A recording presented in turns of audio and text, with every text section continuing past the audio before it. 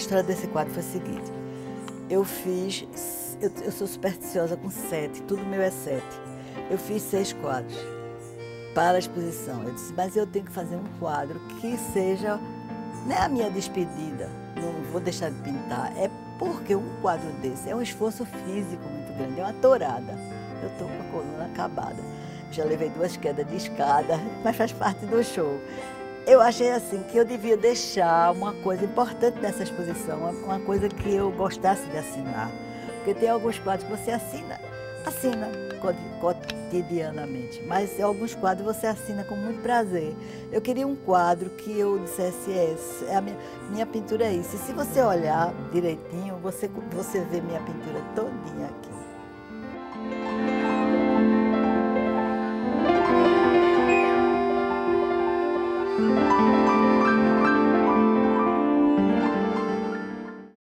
Recife Antigo eu passei muito, eu olho as fachadas, o meu encantamento é muito grande. É uma mistura de fascínio repressão ao mesmo tempo. Mas eu, eu acho a, essa parte do Recife Antigo muito bonita e considero esse trabalho meu uma espécie de resgate da cidade.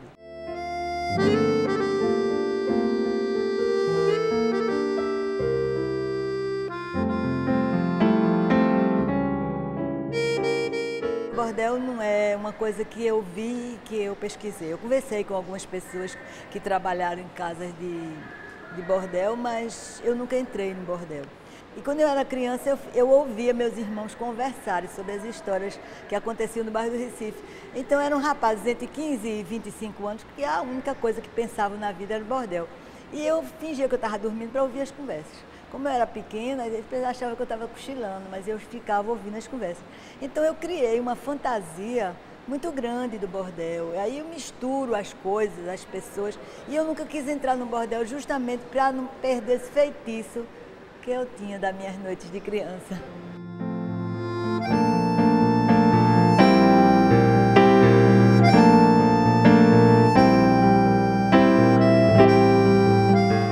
Quadro especialmente eu gosto muito. Não é porque eu seja o melhor quadro, porque esse conceito de melhor é muito relativo, mas é porque ele me diz muito. Primeiro porque ele é uma homenagem a um grande amigo meu, uma pessoa que me abriu o mundo, me ensinou francês, me ensinou literatura, me dava livros para eu ler, que era um grande poeta chamado Thomas Seixas. E ele contava que ele ia para o bordel, mandava as mulheres ficarem nuas, e ele recitava Verlaine, Baudelaire e Rameau em francês. E elas ficavam escutando, provavelmente dormiam, mas ele levava rosas e diziam que elas eram as princesas. Esse eu não vendo, ele, ele é meu. Eu sou um artista que vendo. Eu não, não, nunca tive dificuldade, nunca eu passo dois, três meses sem vender.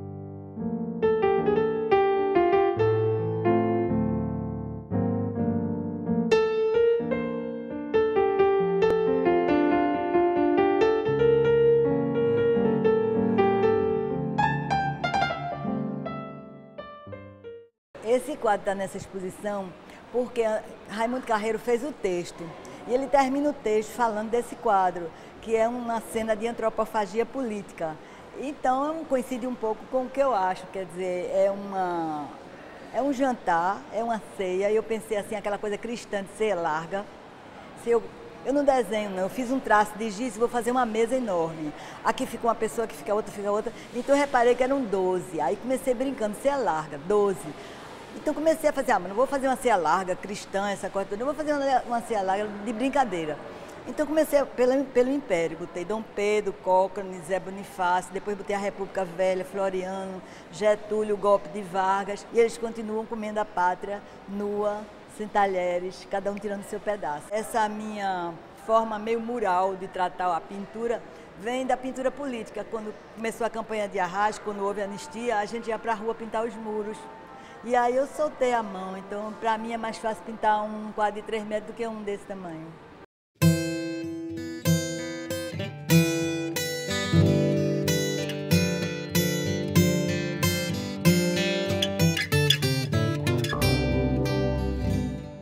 Eu transformei minha casa toda no ateliê, porque os quadros são grandes demais. Aí eu enchi o ateliê de cima, enchi o de baixo e fui descendo, tá aqui, já está na sala.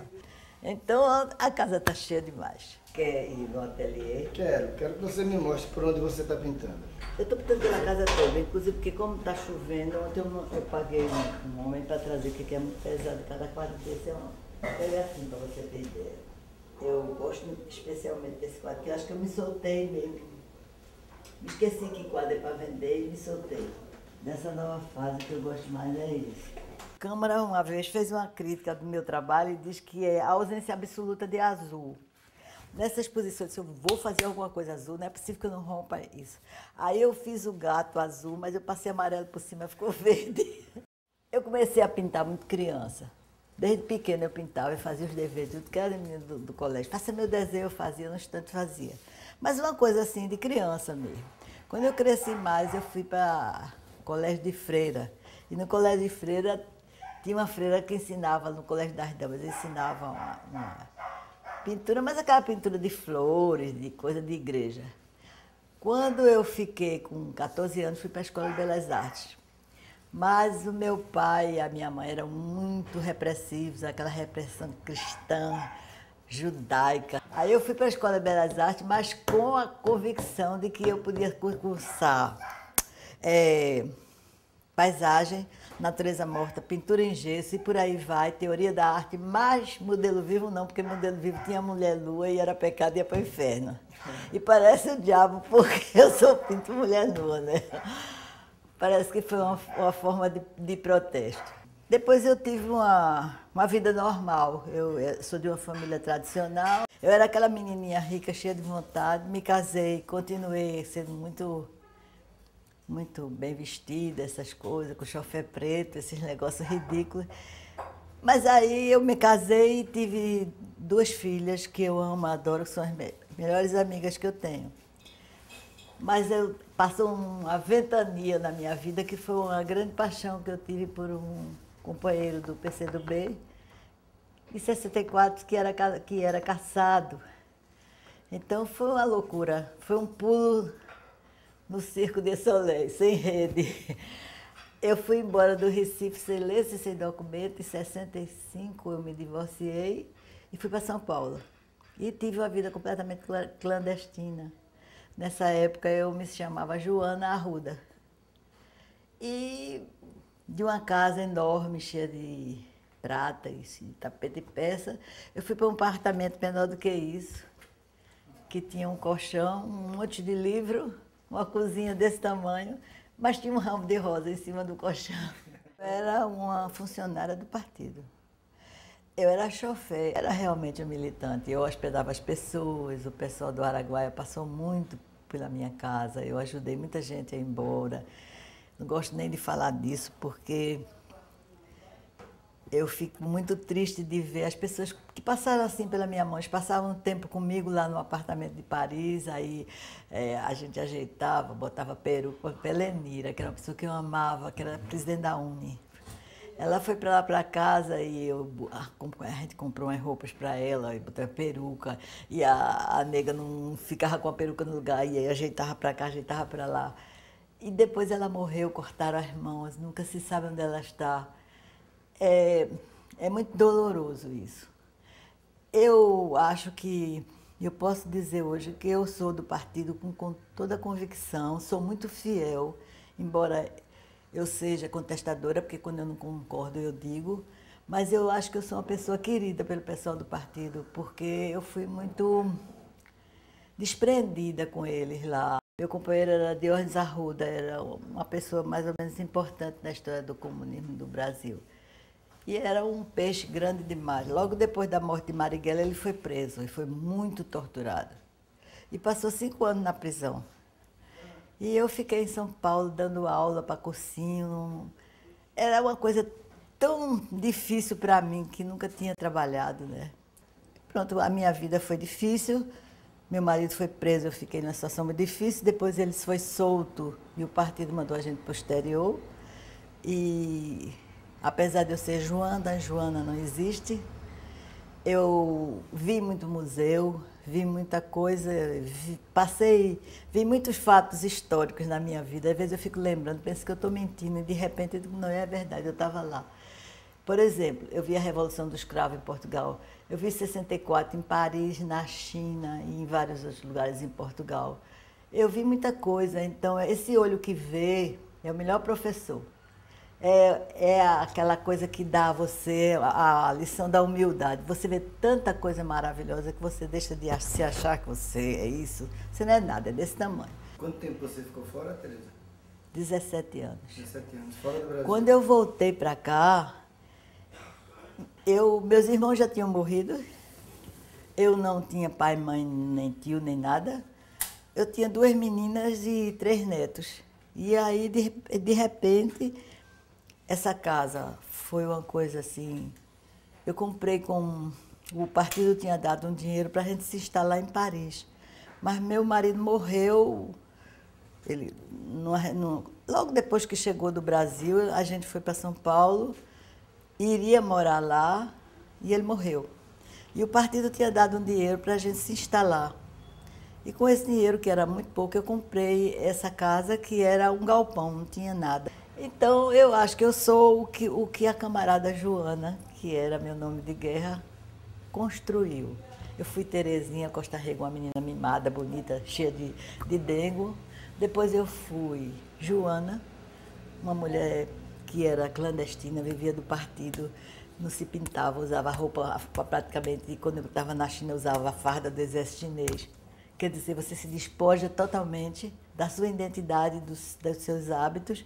E depois, quando ele morreu, eu voltei para o Brasil e achei minhas filhas de novo, minha, o cheiro de pitanga e de caju.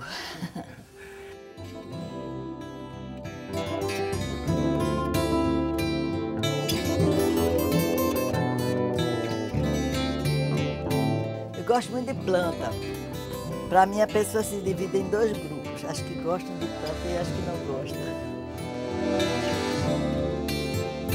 Aqui já esvaziei tudo, que foram aqueles quadros que eu botei na frente. Essa casa tem três metros de largura, então ela é toda para Tem cinco escadas.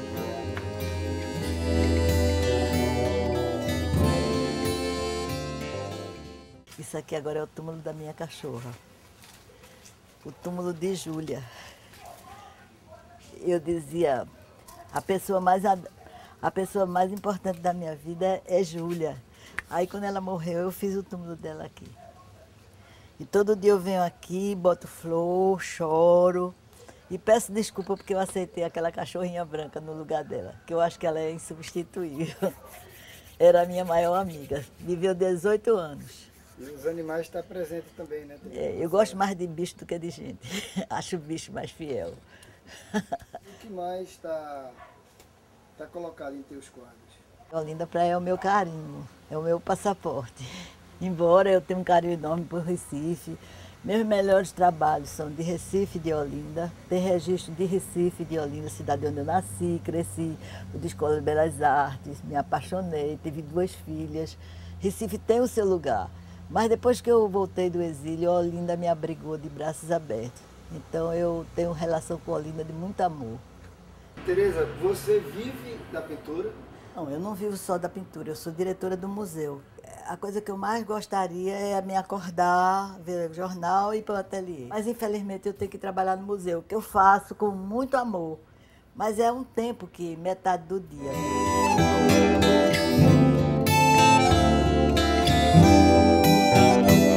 Nádia, por favor, se Daniel puder me buscar no museu, diga ele que vai me buscar, que eu estou no museu, que eu vou com os meninos para não ter que tirar meu carro da garagem, viu?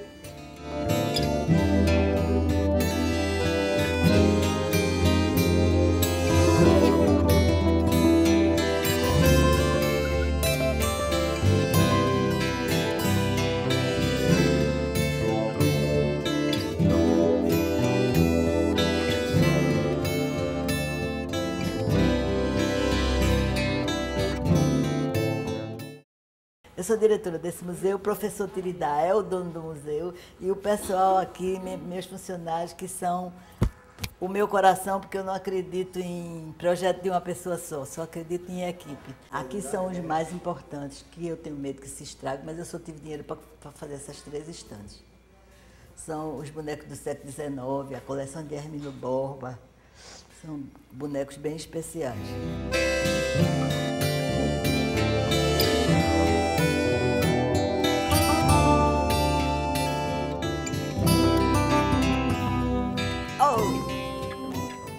Pronto, minha obra mais importante. Deixa eu acender. Que é muito a minha pintura, é o sagrado e profano, né? Aí tem todo o Apocalipse até o final. Aqui são dois anjos, aqui são meus bichos. Aí você vai começando aqui, já começa uma, uma, uma, briga de rua. Aí vem a danação da minha pintura de Sodoma e Gomorra, daquele quadro grande, que um pouco seria Sodoma e Gomorra. Aí de repente eu já passo para a igreja, repara a loucura. Aqui, Nossa Senhora é a procissão do Senhor Morto, né? Nossa Senhora Aí tem o menino Turíblio, os anjinhos, o senhor morto. E achei que eu devia juntar com a, a, a, a religião africana. Isso aqui é uma safadeza minha. Isso aqui é o bispo de salto alto, pisando nas caveiras. E aqui é Dom Helder, ou seja, Dom Dedé e Dom Helder. eu fiz uma selva no meio e a, a, como é o apocalipse, aí eu, esses incêndios da floresta que está demais, né? eu botei esses assim como se fosse uma floresta incendiada. Meu namorado, o homem da meia-noite, que não podia deixar de ter. Aqui é o fascismo, quer seja o fascismo da Europa, que veio para cá, pra, de Getúlio. Os tanques de guerra do fascismo aqui, tem mais morto, mais morto, mais morto.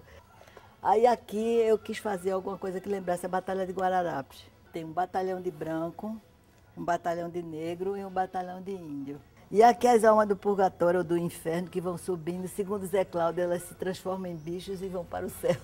Mas elas não podem ir para o céu, porque elas estão dentro da cobra, então, mas elas estão tentando sair. E o olho é o olho de Deus. Mas os, os positivistas tomaram esse símbolo e os maçons também. Só que ele era assim. Mas aí eu fiz como eu quis. Eu estou muito assustada com esse negócio de 80 anos, assustada com essa exposição grande demais, assustada com esse filme de vocês. Se você perguntar como é que você está, eu estou assustada.